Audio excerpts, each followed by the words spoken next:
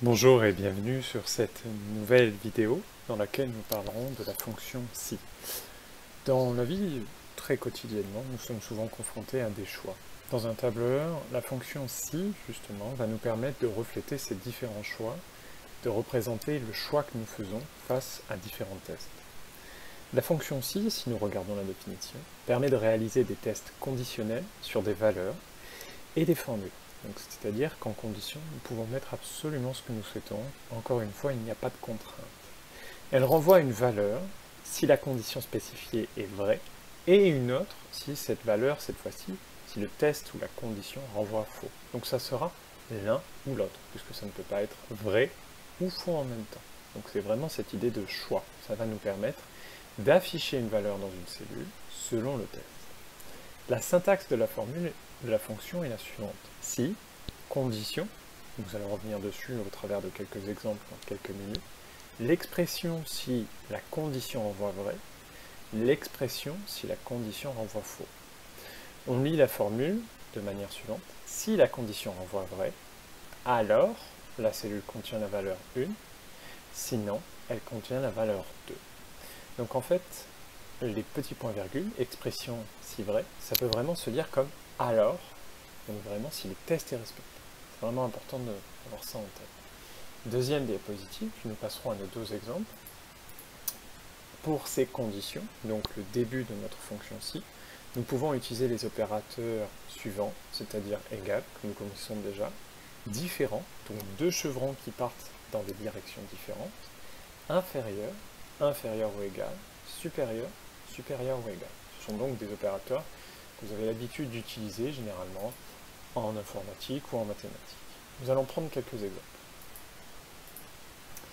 Donc, on va commencer par l'exemple 1 que vous connaissez très bien, c'est-à-dire que si un élève a plus de 10 compris au résultat du baccalauréat, il sera donc admis, sinon il est refusé.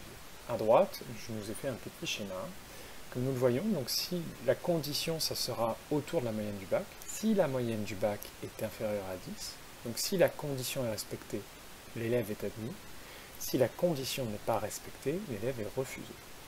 Donc on va tester déjà dans un premier temps la formule. Donc je vais me mettre ici, je vais mettre égal, je vais mettre si. Je vais commencer donc par ma condition. La condition, on a dit qu'il faut que la moyenne du bac soit, pour qu'on soit admis, hein, il faut qu'elle soit strictement supérieure ou égale à 10. Donc c'est ce que je vais écrire ici. J'écris 10 virgule. Si c'est le premier cas, alors je suis admis. Et si c'est le deuxième cas, alors je suis refusé. Pensez bien à mettre les chaînes de caractères entre des lignes. Je fais entrer. Et donc, ça marche très bien puisque notre premier candidat a une moyenne de 10, donc il est admis. On va continuer, c'est-à-dire on va utiliser la recopie. On voit que c'est ici une référence relative, donc c'est parfait. C'est-à-dire que lorsque je vais recopier vers le bas, faire varier les lignes, je vais bien avoir la ligne B4, B5, B6, donc toute la colonne va se calculer automatiquement. Et là, par exemple, nous voyons bien que l'élève 2 et 3 sont refusés puisque la moyenne est inférieure à 9 ou 7. Nous sommes donc dans le cas où la condition n'est pas respectée. On va donc refuser. J'aurais pu aussi, si besoin au début, faire cette fonction avec, à l'aide de l'insertion. C'est-à-dire qu'ici, vous voyez, on a une petite aide qui peut justement vous aider à taper la formule. Et vous voyez, donc on avait les deux différents cas. Ici, dans le cas présent, comme je vous ai dit tout à l'heure, l'élève 1 a une moyenne supérieure à 10, compris, donc ça suffit. On va passer maintenant à notre deuxième exemple. Nous avons vu une condition avec du numérique. Nous allons voir cette fois-ci une condition avec du texte. Si le temps affiche soleil, je veux donc prendre un parasol. Par contre, si le temps n'est pas au soleil, il est à la pluie, je devrais cette fois-ci prendre un parapluie. Donc ce qu'on va faire, c'est qu'on va faire si, on va le faire manuellement, la condition, donc si le temps est égal à soleil, vous voyez, encore une fois, je peux aussi travailler l'échelle de caractères, cette fois-ci, donc j'écris bien entre guillemets, je vais dire si le temps est bien au soleil, alors je peux mettre parasol, sinon si ce n'est pas du soleil, c'est que c'est forcément de la pluie, donc je prendrai le parapluie. Enfin, et je tire ma formule encore une fois pour vérifier. Tout fonctionne correctement. On va prendre un petit peu de temps, puisque ce qu'on pourrait faire, pour que ça soit un peu plus clair, une astuce que nous avons déjà vue ensemble, c'est les références nommées. Donc là, par exemple, je vais nommer ici. Je pourrais, je l'ai écrit comme ceci, cette condition. Mais plus justement, pour vous montrer un petit peu les différents opérateurs qu'on a vus tout à l'heure, de manière générale, dans la vie de tous les jours, vous ne sortez pas avec un parapluie si le temps n'annonce pas de la pluie. Donc on pourrait très bien faire le test si le temps est différent de la pluie, je prendrai un parasol. Vous voyez, j'ai modifié. Si donc la condition, le temps est différent de la pluie, je prends un parasol. Par contre, si le temps est à la pluie, donc si le test n'est pas différent, je prends cette fois-ci un parapluie. Et ça marche tout aussi bien. Donc on a vraiment deux possibilités. On peut donc vraiment dans les conditions, vous êtes assez libre. Vous pouvez très bien utiliser des opérateurs différents, égal, supérieur, etc. Bon, on retourne sur notre diapositive. Le problème est le suivant. C'est que dans la vraie vie, on est assez rarement face à des problèmes où il n'y a que deux choix, l'un ou l'autre. On est souvent face à des choix qui ont plusieurs choix et donc plusieurs conditions. Excel gère ce cas-là, il nous permet alors d'imbriquer les fonctions SI ensemble nous allons pouvoir aller jusqu'à 64 fonctions. Rassurez-vous, c'est très rare. On va prendre un petit exemple. Nous cherchons à calculer la commission d'un commercial. Donc la commission, c'est la part variable d'un salaire qui va s'ajouter à la part. En dessous de 5000 euros, la commission, le commercial, touchera 4% du chiffre d'affaires qu'il a réalisé. S'il est entre 5000 et 10 000 euros, cette fois-ci 5%, et au-delà, il touchera 6% du chiffre d'affaires. Donc on voit que la difficulté qu'on a, c'est que nous sommes dans une situation où il n'y a pas une seule condition. Il y en a plusieurs. Soit je vais être en dessous de 5000 euros, soit je vais être entre 5000 euros et 10 000 euros, soit je suis Le petit schéma à droite nous explique un petit peu les différentes situations. Donc ce que je repère, c'est que effectivement, il y a deux conditions. Soit je suis inférieur à 5000 euros.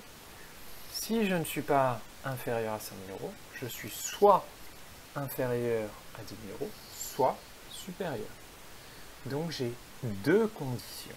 Si j'ai deux conditions, nous verrons tout à l'heure qu'il nous faudra deux si. Mais en plus, nous voyons que nous devons distinguer 1, 2, 3 cas. Le cas où ma commission est de 4%, le cas où ma commission est de 5%, et le dernier cas, le cas où ma commission est de 6%. Si je prends la dernière diapositive, J'obtiens donc la formule suivante, celle qui va emboîter les formules.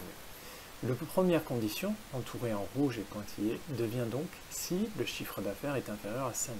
Alors, à ce moment-là, si c'est vrai, j'aurai bien un CA qui sera, enfin ma commission sera bien de 4% chiffre d'affaires.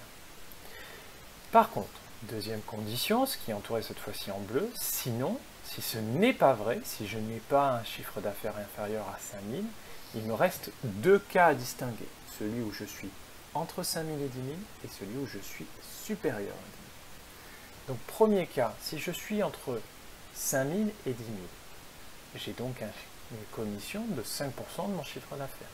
Par contre, si je ne respecte pas la commission, c'est-à-dire que j'ai une commission, j'ai un chiffre d'affaires supérieur à 10 000, alors ma commission sera de 6% du chiffre d'affaires. Reprenons un exemple. Eh bien, on va prendre un exemple, encore une fois, vous connaissez bien, on va aller un petit peu plus de précision. C'est sur le baccalauréat. Le baccalauréat, les résultats sont les suivants. En dessous de 8, vous êtes refusé. Entre 8 et 10, vous passez au second groupe. Entre 10 et 12, admis. 12 et 14, assez bien. 14 et 16, bien. Et au-dessus de 16, très bien. J'ai représenté, et je vous invite à le faire assez souvent quand vous aurez ce genre d'exercice avec des bornes, différentes situations, différents choix, sous forme d'un axe, un axe gradué.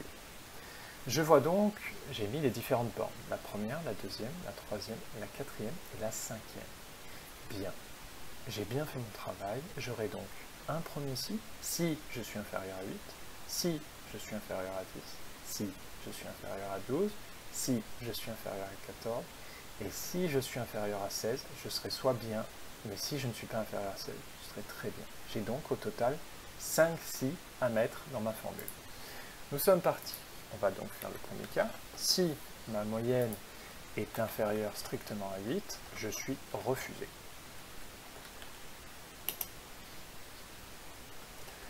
Deuxième cas, si je relance un deuxième si, puisque c'est une deuxième condition, si je suis B25 inférieur à 10, je passe au second groupe.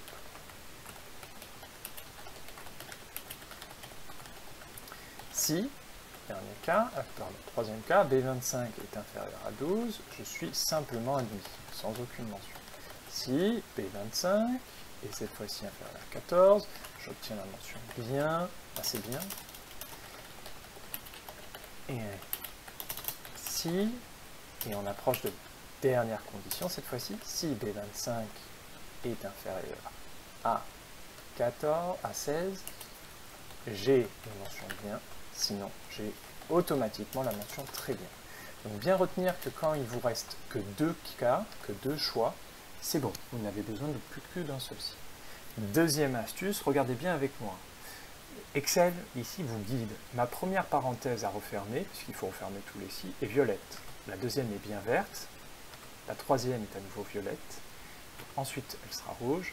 Et enfin, elle est noire. Et là, je vois bien les différentes couleurs pour les différencier. C'est bon, je les ai bien tous refermés. Je fais égal. Et là, encore une fois, je vais simplement descendre automatiquement. Je vais calculer les différents résultats et ajuster. Parfait, ma formule fonctionne très bien. Elle marche bien. Elle me gère donc les différents cas. Elle gère donc 1, 2, 3, 4, 5 conditions et 1, 2, 3, 4, 5, 6 choix. De manière générale, retenez que dans une situation où vous avez plusieurs conditions, le nombre de si à emboîter, à imbriquer, est égal au nombre de conditions. Je vous remercie pour votre attention pour cette vidéo. Prenez bien le temps de la regarder tranquillement, de relire la fiche outil et puis de vous exercer.